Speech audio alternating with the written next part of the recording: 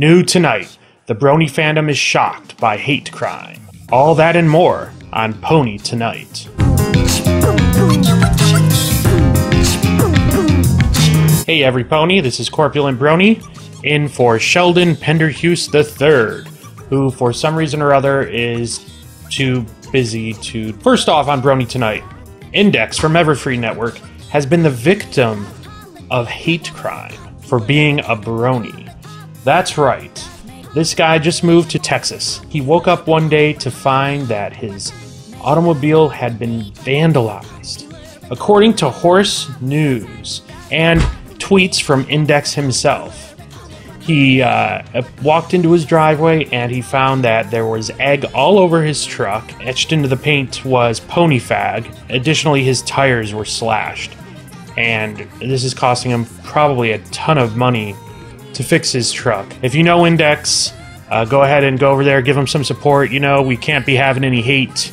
Uh, you know, we got to love and tolerate. You know what I'm saying? Okay, all you pony merch aficionados, and, and also game aficionados, anybody, game fans, anybody who likes to play games and just there's not enough pony in your fing board games, yo. I got the Mono- Monopoly Life, Pony, Ponyopoly Life, Pony.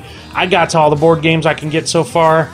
I don't have the Chutes and Ladders. I, Connect 4 for Pony is now available in stores, apparently. Also, you can find it on Amazon.com already.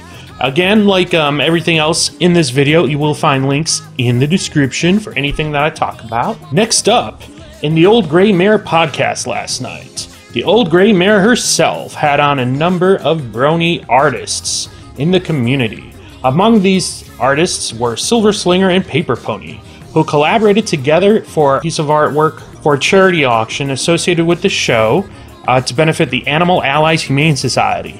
And these two were actually able to raise $700 for their beautiful work of Twilight facing down T-Rex with her friends all in bubbles. There's going to be some metal work worked into this picture with Twilight's armor and a T-Rex nose ring and some other stuff. I've seen some of the preliminaries out of this, and the work looks fantastic. I was so impressed by it, I even bid myself. So a lucky person named uh, Uzuf8441 was the auction winner for $700 for this beautiful, one-of-a-kind piece of work. Congratulations, Uza, and congratulations to the Animal Allies Humane Society. In other merchandise news, still no sign of the Funko, Luna, and Celestia at Hot Topic stores nationwide. Stay tuned as we continue to explore Luna Gate. My Little Pony Fair, for those of you who don't know, is one of the original pony conventions.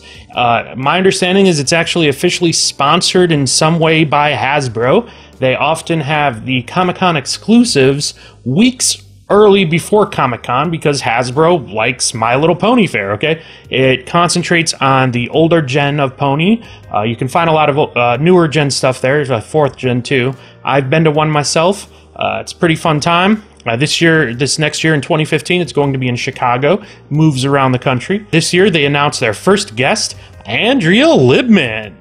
Awesome stuff, yo! This weekend saw the launch of the newest expansion to the My Little Pony collectible card game. If you guys haven't tried playing this card game yet, I highly recommend it.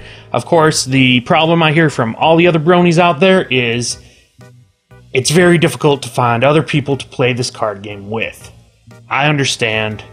Myself, I'm having that same problem. The Crystal Games uh, has been launched this weekend, back on Friday.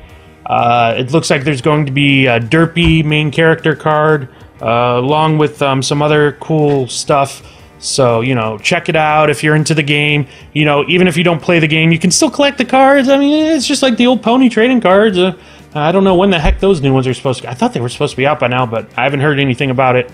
Uh, if you've heard something, go ahead and leave a comment down below. Obviously, I'd love to hear what you guys are hearing. Next up, the Humble Bundle is still on sale.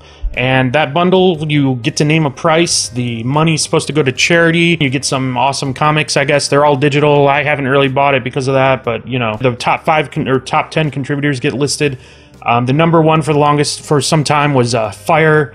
Please fire Ted Anderson, you know, because Ted Anderson is actually still working for IDW.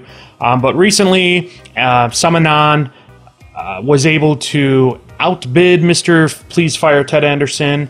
And the new number one contributor is Rarity is Best Pony.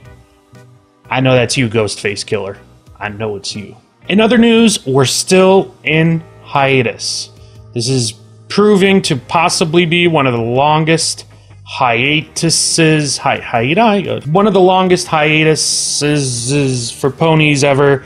I've been yanking my hair out. As you see, I'm going bald. Where the hell are the new ponies? Ah, we do have new, uh, the new. I don't know if you guys have played with these yet. The Pony Pops uh, they're little ponies that you stick together and you can put their little wings on, put their hair on, put their uh, hair and tail. A uh, new one is coming out uh, that's been found in Singapore. It's Princess Celestia. It looks, of course, like a lot of these toys. It looks nothing like Princess Celestia, but still, it's out there. At least it's not pink. It's actually a design your pony. So, so they're mixing that whole design a pony thing with the vinyls, but now with Pony Pop. In other news, straight out of um, Horse News, Lord Twilight Sparkle descended from Equestria to smite the unworthy. Twilight came down from the heavens of Equestria and rained hellfire down upon them for being unclean, and no pony was able to escape her gaze of justice and destruction. Oh, that yeah, that is adorable. I don't think I could escape that either. Um, let's see, how did they get rid of her? Um, a battle mech? Apparently, they used a battle. God damn it!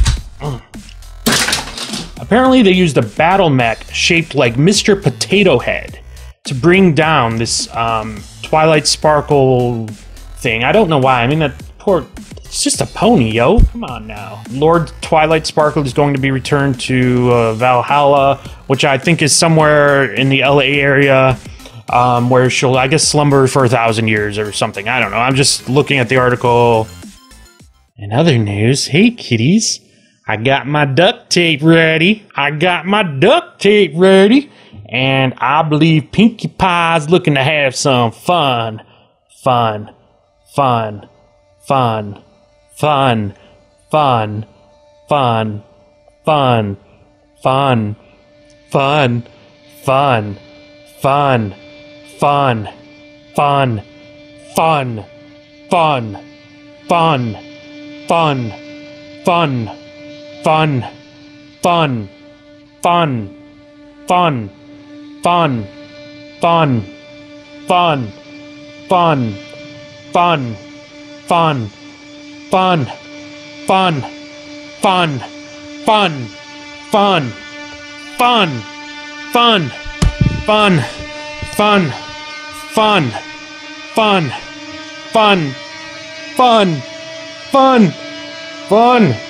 fun!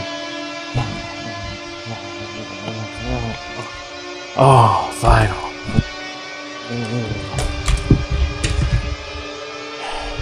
All these ponies. Why do they torture me? Why do they torture me so?